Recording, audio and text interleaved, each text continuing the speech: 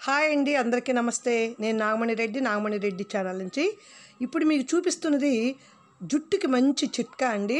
ఇది బాగా పండిపోయిన పప్పాయి పైన పండు తీసుకొని పై తొక్కు తీసేసి ముక్కలుగా తరిగి చక్కగా మిక్సీలో వేసేసుకొని దానిలో కొంచెం మనం కావాలి అంటే కనుక పెరుగు కూడా వేసుకోవాలి. ముక్కలు చూడండి మనం తినలేని పండును మాత్రమే పడేస్తాం. అది అలాంటిది ఇది?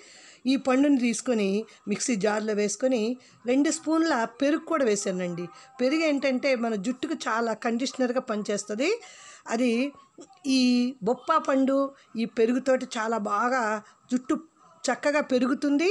అలాగే మనకి పట్టులాగా ఉంటుంది. ఇది నిమ్మకాయ ఎందుకు వేస్తామంటేనండి ఎవరికైనా జుట్టు కనుక మీకు చుండ్రు ఉంటే మాత్రం వేసుకోండి. లేకుంటే అక్కర్లేదు నాకు లేదు కాబట్టి వేయటం లేదు. ఇది మిక్సీలో వేసి తలకు పట్టించి అరగంట తర్వాత తల స్నానం చేస్తే చాలా బాగుంటుంది.